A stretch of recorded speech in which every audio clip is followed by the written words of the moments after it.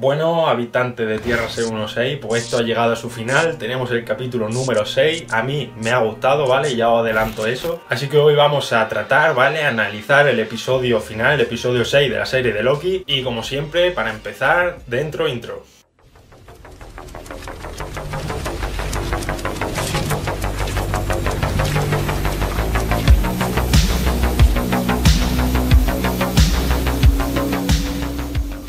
Pues bueno, ya al comienzo de este capítulo vemos como en la intro, en la intro de Marvel Studios aparecen pues diferentes voces, diferentes escenas y situaciones, eh, diálogos que han aparecido durante el UCM y que son pues de relativa importancia. Y esto aparece, ya digo, al inicio y yo ya dije, ojo con este capítulo porque se van a venir cosas, porque cuando te hacen una intro ya así, y bueno, luego te hacen todos esos planos del universo con diferentes eh, mm, pues no sé si decir galaxia o... sí, ¿por qué no? Que más adelante pues ya te lo explican por qué es. Bueno, pues a ver, entiendo que este capítulo eh, haya mucha gente que no esté de acuerdo con él, que piense que no es un buen final, que ha faltado acción, que ha faltado pues diferentes cosas que quizás la gente se esperaba. Pero yo pienso que no. A mí personalmente me ha gustado. Lo mismo que por ejemplo no me ha gustado la Widow, por eso pues pues no he subido reseña, ¿vale? Que tampoco es que yo defienda todo lo de Marvel, ¿no? Pues sí que tengo que decir que este capítulo me ha gustado, me ha mantenido enganchado, quería saber, ¿vale? Yo lo veo como un episodio de presentación de un personaje, pues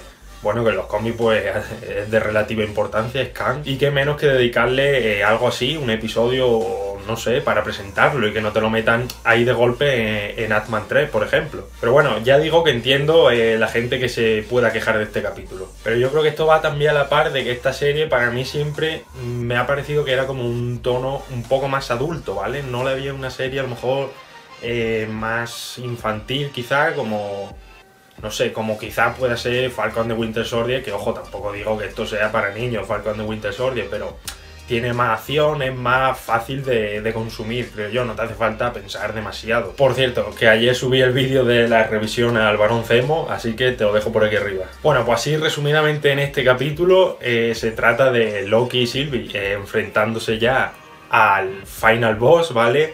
Ya no son los guardianes del tiempo, ¿vale? Pues iban a buscar ya quién se encontraba detrás de todo esto, quién mantenía la línea temporal y demás. Y bueno, yo cuando vi, es que no recuerdo el nombre, cuando vi al actor de, de Khan dije, no puede ser. O sea, me imaginaba que quizás podía aparecer, pero no que apareciera en el minuto 15 del capítulo, con todo el capítulo por delante. Y dije, ¡buah! Se viene el capítulo, la verdad, se viene capitulazo. Tenemos aquí ya a Khan y vamos a ver qué nos cuentan. Porque yo, bueno, me podía imaginar que a lo mejor apareciera en una postcrédito o incluso al final del capítulo, pero poco más. Y bueno, sí que es verdad que aparece y no hay mucha acción cuando él está en pantalla, pero a mí me ha parecido que va a ser un buen personaje. Me parece que le ha dado al personaje bastante carisma y se me hace guay, la verdad. Así el primer vistazo creo que estará bien, pero bueno, ya como sabemos que seguramente habrá diferentes tipos de camp, pues ya no sabemos si el que salga en Atman pues será este mismo, será otro. Bueno, total, que básicamente le revela a Loki y Sylvie que él mismo, porque él ya se define como, bueno, dice que le han llamado diferentes cosas, como el gobernador y dice también el conquistador. Y eso, que básicamente le revela que él ha sido quien verdaderamente estaba detrás de, pues bueno, de mantener la sagrada línea temporal, que no eran los guardianes obviamente, como ya sabían. Y básicamente le da dos opciones. Uno, que le maten, que maten a Khan, y eso va a generar que se líe, bueno, la revolución en las líneas temporales, que se vayan todas por ahí, que se creen ramas por todos lados, o que lo dejen vivo y ellos tengan que estar eh, ahí pues trabajando para él. Y bueno, después de un momento así de discusión entre los tres, la tregua, pues al final él es Sylvie quien decide dar el paso de matarlo y Loki pues intenta negárselo. Porque en este punto de la serie Loki cree a Khan y cree que si lo mata pues verdaderamente se puede liar una de, de Cristo. También tenemos una escena en donde por fin Loki besa a Sylvie. Creo que era el momento justo, pero ¿qué pasa? Que Sylvie no se fía de Loki y al final resulta ser que era Loki quien no debería de, haberse fiado de Sylvie, porque Sylvie envía a Loki a través de una puerta y lo manda pues eh, bueno, vamos a decirlo ya, a otra TVA de otro universo, porque vemos al final del capítulo que Mobius no conoce a Loki. Le dice, pero tú quién eres. O sea, yo entiendo que Mobius piensa que es un trabajador más de la TVA porque iba vestido con típicos trajes que hay allí, pero no sabe quién es Loki y bueno, eh, la verdad que eso es bastante triste que no se acuerde, no,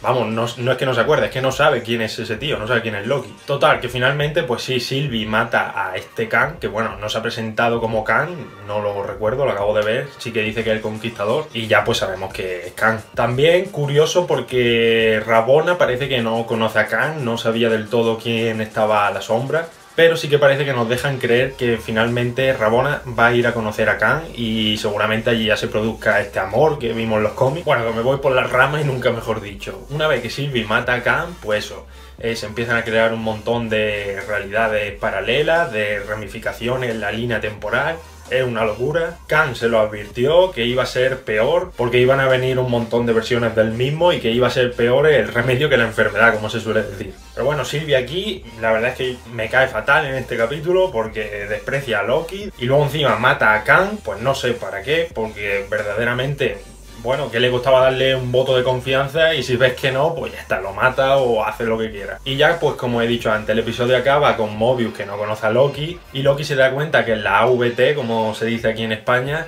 en vez de estar las estatuas grandes que había antes de los guardianes, ahora está una estatua gigante de Khan. O sea que ahora mismo se encuentra en, una realidad que los guardianes ni siquiera existen. Se encuentra en una realidad en la que quien controla la línea temporal es el propio Khan. Y ya, pues bueno, pues se nos deja un futuro abierto para la tercera entrega de Atman y eh, al final de los créditos también nos dicen que Loki volverá en la segunda temporada. O sea que ya oficialmente vamos a tener segunda temporada de la serie, muy necesaria. Para mí, de verdad, la mejor serie de las tres que llevamos ahora mismo. Y es curioso porque, sin embargo, me parece la serie que tiene menor acción, diría yo. Porque bueno, estaría WandaVision, que está en un punto intermedio, luego está Falcon de Winter Soldier, que es acción pura y dura, que ojo, también es que digo que me gusta, a mí me gusta eso también. Y luego pues tenemos a Loki, que para mí, pues bueno, hasta creo que el episodio 5, que es un poco el que tiene más acción, bueno, también el el 2 creo que era, pero bueno, que para mí sí que ha sido la serie que tiene más sorpresa, incluso nos expande más la fase 4, pues bueno, abriendo ya estas realidades, ya no sabemos si podremos ver en el futuro una Secret Wars, si esto va a influir para Spider-Man 3, para Doctor Strange o para Atma, es que no lo sabemos, pero sí que es verdad que eso eh, influye más en lo que es la fase 4, y como digo, muy buena serie, que nos ha sorprendido a todos, espero no dejarme nada, acabo de ver el episodio y estos vídeos, la verdad es que los grabo... Eh,